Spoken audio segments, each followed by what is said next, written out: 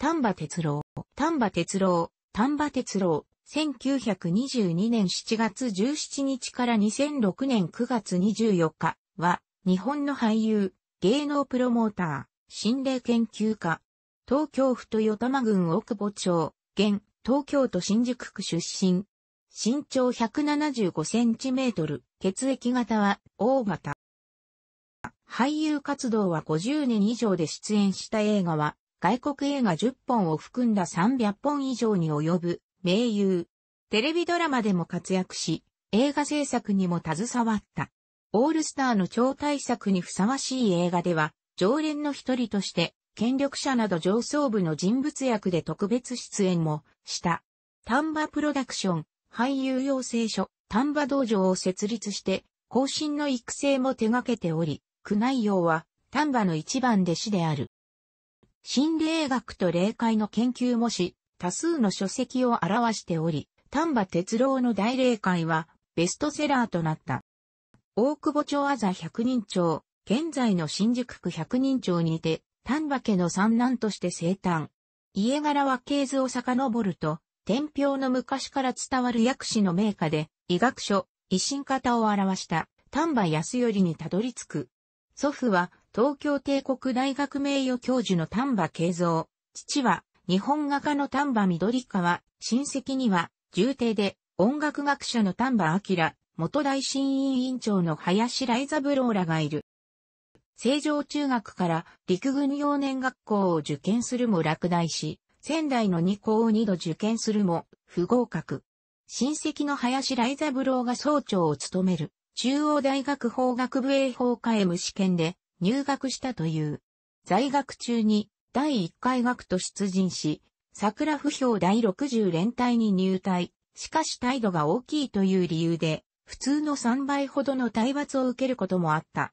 立川陸軍航空整備学校で整備士官としての教育を受け、上官には川上哲司がいた。詳細は人物を参照。終戦を立川で迎え、戦後の1945年大学に復学し、学業の傍ら GHQ 通訳のアルバイトをしていたが実際には本人曰く英語は半分程度しか理解できず、トイレに逃げ込み、仕事の終わる時間を待っていたという。1948年大学を卒業。またダグラス・マッカーサーには二度程度エレベーターの中で遭遇したと語っている。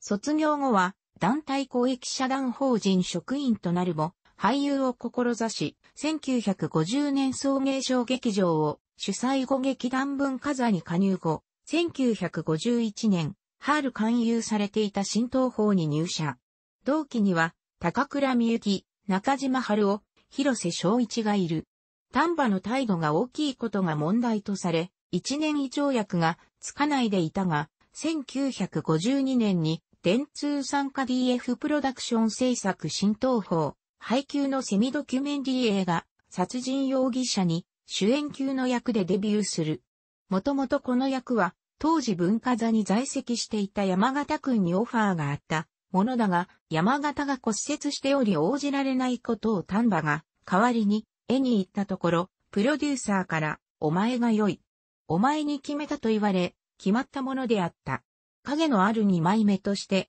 主に仇役、悪役で活躍し、1956年公開の柳家金五郎の主演映画、金五郎の兵隊さんの上演をきっかけに、金五郎劇団へ誘われ舞台の客演もこなす多忙な状況だったが1959年、丹波の新東宝の作品のレベルが落ちているとの言が記事となった。新東宝社長、大倉光具は謝罪すれば許す考えでいたが、丹波は初心を曲げず、映画、総流暴れ雲を最後に、同6月新東宝を退社、フリーランスとなり、フジテレビのディレクターだった五社英雄に見出されると、コンビを組み、1960年に放送されたテレビドラマ、トップや、1961年には、入東映で映画、霧と影、白昼のブライカンに主演した。五社とは、名優となり、1969年の映画、御用金にも出演している。映画、豚と軍艦、1961年、丹下左前、1963年、暗殺、1964年、1963年のテレビ時代劇、三匹の侍などで、スターとしての地位を確固たるものとし、荒くれ者の漁師に扮した、ジャコマント哲也、時代劇映画、ギャング映画、人形映画など、幅広く出演。1961年、キャロル・ベーカー主演のアメリカ映画に出演以降イギリス映画の1964年、大の暁に、世界的なヒット作1967年、007は二度死ぬで国際的に認知され、海外においても活躍した。1968年から放映されたテレビドラマ、キーハンターでは、黒木哲也で主演。黒木のイメージは、007は二度死ぬで丹波が演じた、タイガー、田中の人物像も反映させている。最盛期のキーハンターは視聴率30%を超える人気ドラマとなり、当初1年の予定が5年に伸ばされた。キーハンター終了後も、丹波は同時間帯でテレビドラマ、アイフル大作戦、バーで大作戦、G メン75と出演して、TBS 系、土曜21時の顔となる。前後して1973年には映画人間革命で毎日映画コンクール男優演技賞受賞。1974年には映画砂の器の混成刑事役では人情味のある重厚な演技が高く評価された。1980年の203コーチで第23回ブルーリボン賞助演団優勝と第4回日本アカデミー賞最優秀助演団優勝をそれぞれ受賞した。生涯の研究分野であった死後の世界を描いた映画を作成、出演、300万人以上の動員を得る。1994年11月には舞台で大霊界を表現し、映像では得ることのできない空間を表現し話題を呼ぶ。2000年15歳学校法で日刊スポーツ映画大賞助演団優勝を受賞し、大河ドラマ、年家と松、2002年、義経、2005年などで渋みある演技を見せていた。2005年2月から約2ヶ月間、インフルエンザと中水炎のために入院し、それが原因でひどく痩せ、健康が懸念されていた。2006年、平成18年9月24日午後11時27分、肺炎のため、東京都三鷹市の病院で死去。死去する前に、霊界は素晴らしいところなどと遺言を残した。映画、テレビドラマで何度も共演している千葉真一は亡くなる1年ぐらい前にキーハンターをまたやりたいねと話していた。お元気だったのにと TBS の電話インタビューに答え、その死を惜しみ哀悼の意を表した。第44回ゴールデンアロー賞の芸能功労賞が贈られ、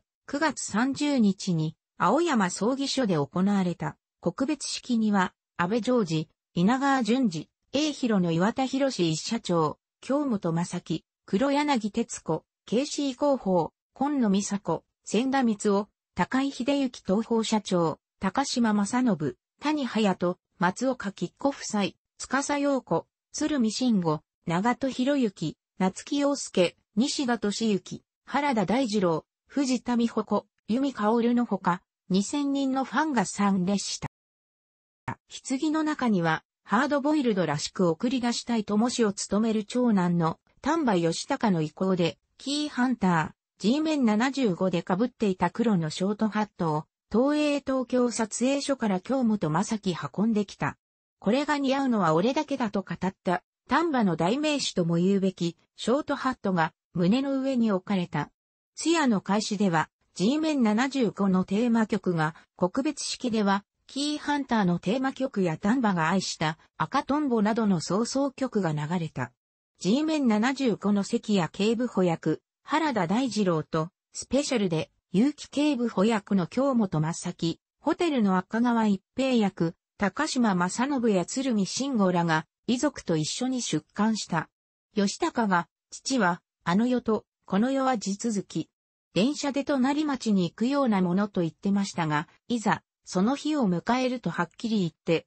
寂しいです。親父から見たら、だらしない息子だと思われるかもしれないが、これから父の言う、電車の乗り換え駅に父を見送りに行ってきますと、挨拶すと、弔問客からは、すずり泣く声が漏れた。ファンから丹波哲郎、日本一、ありがとう。の絶叫がこだまし、原田大二郎は目を真っ赤にして、最敬礼のポーズで見送った。無宗教であり、戒名はない。墓所は、玉霊園。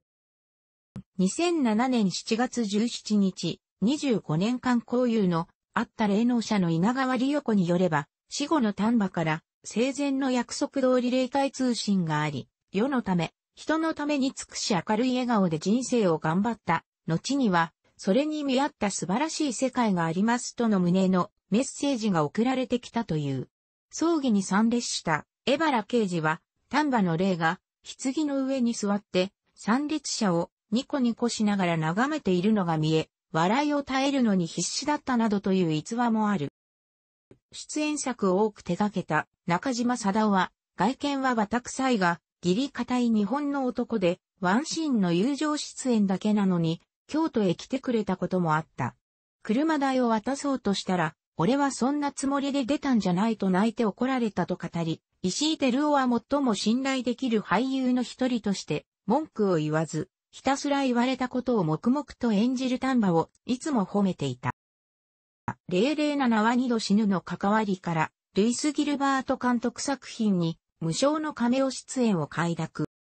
裕福な家庭に育ち1949年に結婚した貞子夫人もテーラー、オーダーメイド紳士服店を営み、自身も講談職と闇市卸副業から社会人演劇同好会を運営し、育ちの良さと素地から不義理、通りの通らないことを嫌い監督など、目上立場であっても反目する一方、和解すると信頼には、誠実をもって答えていた様子が晩年にインタビューから、俳優職歴中心に、まめた、実質次元の2004年出版丹波、ダーティク道教著、大俳優、丹波哲郎、ワイズ出版館に綴られている。前述した義理友情にまつわるもの、俳優養成所、丹波道場の経営失敗とは一方で、俳優業経営は厳格で海外出演の経験から映画 TV ドラマプロデュースについても同様だった。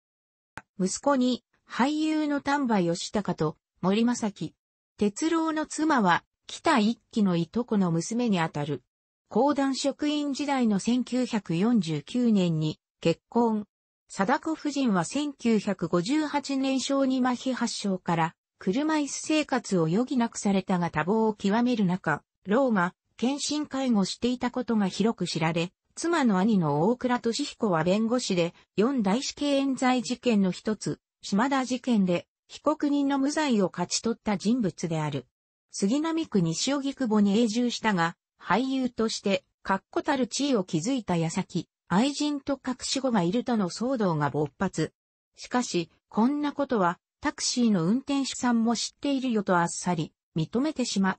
葬儀が行われた際、愛人とその子供、元女優の江畑彩子と息子である森正樹が弔問に訪れた。吉高は気遣いって席を外し、二人に別れの一時を与えた。丹波が二つの家族を分け隔てなく、愛したゆえの出来事と言える。